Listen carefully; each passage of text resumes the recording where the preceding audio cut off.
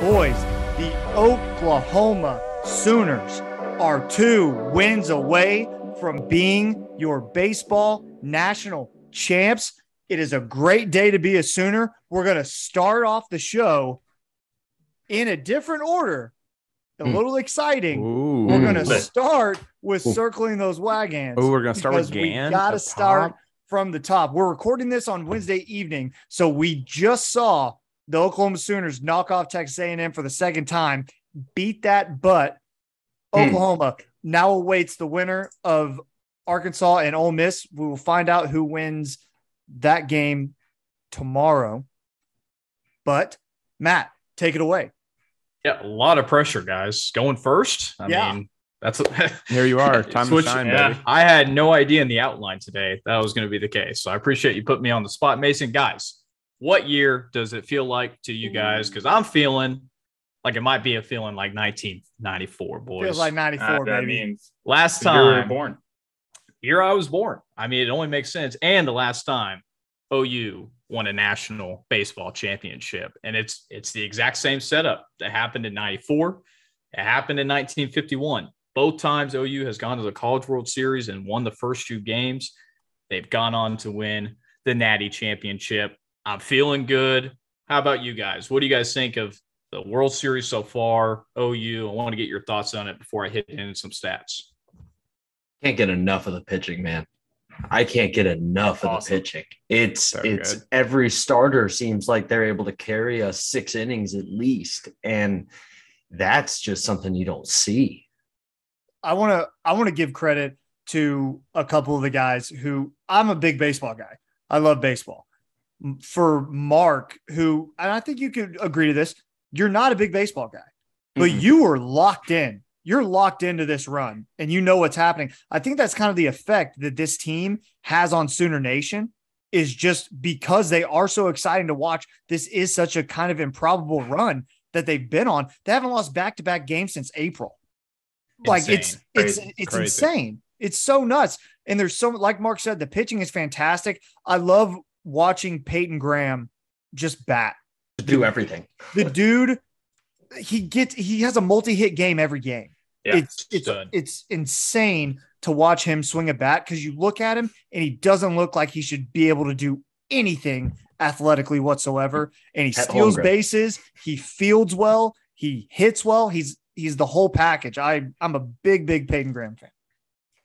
Yeah, I mean, you mentioned Mark. You said it. The pitching. It's Dustin Sandlin. It's Jake Bennett, and it's Cade Horton. It's not just one guy. It's three starting pitchers. And what OU has done well is got the other team's starting pitcher out quick. Yeah. Getting a lot of Mhm. pitches, getting A lot of multiple pitches. pitchers. I think every team we face so far has gone at least two or three, even four or five pitchers deep. And we have starting pitchers who go to six and seven. And then we bring in our closer, Trevin Michael, to close out the game. It is a absolute nasty We were we we had gotten 70, 80 something pitches on their starter through the fourth inning. Uh, just tons of pitches on that arm. And then, I mean, shout out to brother of our brother, Yep. Jacob Palisch. he really brought it to us today. Yeah, great game. and you notice we got what one run in, maybe two runs in. I think once one. I came think he had- game. I think he had one earned run. Um, But- that was really good for him. Man, he laid it out there. And uh, obviously, shout out to us. We got it done. But that was, it was a fun game to watch because once he came in, they were locked in too.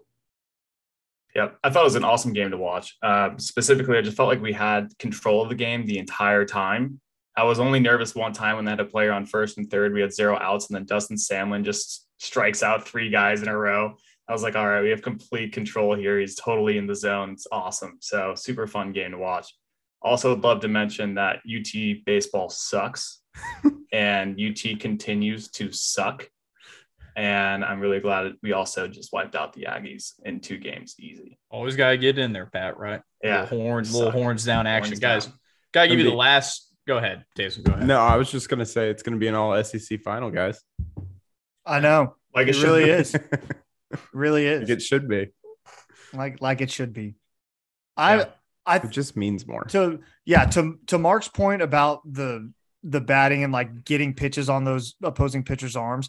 that's how OU has done so well is because they work those counts and they make the pitcher throw a lot of pitches, get walks when other teams are swinging it at strikes in the dirt like Texas A&M was doing today. There was multiple times that the commentators were for ESPN were talking about how the Texas A&M batters don't swing at pitches out of the zone. Somebody didn't tell Dustin Sandlin that because those dudes were swinging at balls in the dirt all day long. So either Dustin Sandlin is dealing some nasty ass stuff or or the ESPN commentators didn't watch any baseball. And I think that's not the case. I think Dustin Sandlin was just that good. Guys, guys, his name is David. David. Wanna Point this David. out. Everyone's been saying Dustin. David, Listeners got- are gonna call us out. His I name know. is David. We know his name is David. All right. Yeah, we do. Continue. He was he's painting the corners though, man. He is, and he's right outside of uh, you know where the strike zone is on either side, such that man, there are balls that look like balls that they're calling strikes that these guys aren't swinging on, and then they're just thinking about it the next time too. So, uh, yes, David Sandlin has been playing great. That's a that's a tough look for Well, us. I that's a- promise we all watched the game. I swear we did. No, I Pat swear started it off. Yeah, He I don't know why I started confidently. off. He said it confidently, and Mason was like, "Yeah, that sounds right. Let's just Oh, keep I know. diving in." Yeah, that's that that's called I- just blind listening. I, I do want to touch on one thing with David. He um he played he they put him in for one inning against was it A and M previously, I First game. believe. First Mhm. game. Yeah. Yeah. They put him in for one in- inning and he was terrible. He walked like four people in a row. Gave up four runs too. Yeah, gave up four runs and then came into this and had a chip on his shoulder and completely dominated. So, you know, he was fantastic. We got him through seven innings, which is even more than we got from like Horton in the past couple games where we got him through six. I mean, just super, super impressive by him.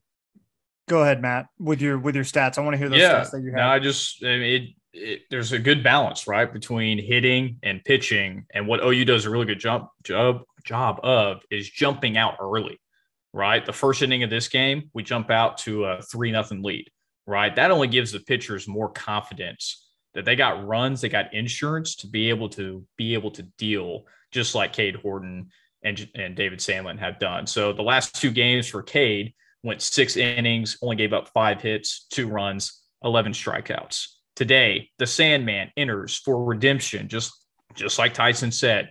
Gives up four run in that first game to A&M, comes back this game against A&M, seven innings, five hits, only one run, 12 strikeouts. That is incredible stat line for two fantastic pitchers. They're going to need that going into the champ series against whoever they play. But the biggest thing is the offense is getting out to early leads, giving our pitchers way more confidence going into it. And you can just clearly see they are absolutely dealing. and with the with the other games going on between Arkansas and Ole Miss, we we don't know how that game's going to end. I think Arkansas is up right now. So if Arkansas wins on Wednesday night, that means they have another game on Thursday Mhm. to decide that bracket, and OU will play the winner of Ole Miss and Arkansas.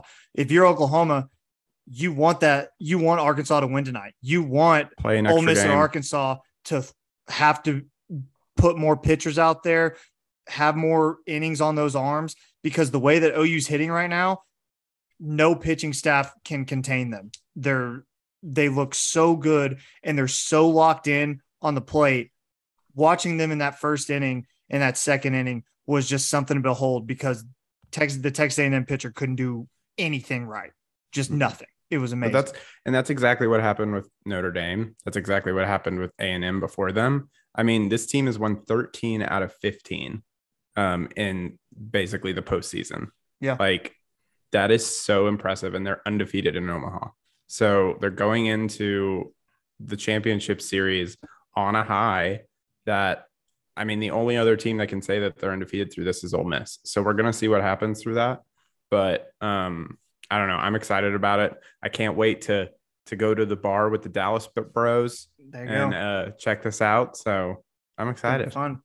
It's gonna Absolutely. fun. Now, I just wanted to, to cap off one quick thing, a, a, a historic stat that I took a look at here earlier. They mentioned it in the broadcast. The OU baseball team has the ability to achieve something no university has ever done, which is winning a softball national title and a baseball title in Wow. the same exact year. There have been a couple teams that have won softball, but then end up losing in the championship. The last one was in 2011 when the UCLA women won softball, but the men lost baseball. So OU, not only baseball, but historically as a program, can be the first ones to achieve this historic feat. And they're hotter than any other team coming into that champ series. So whoever they got to play, Arkansas, Ole Miss, it's gonna be a tough outing for either one of those teams.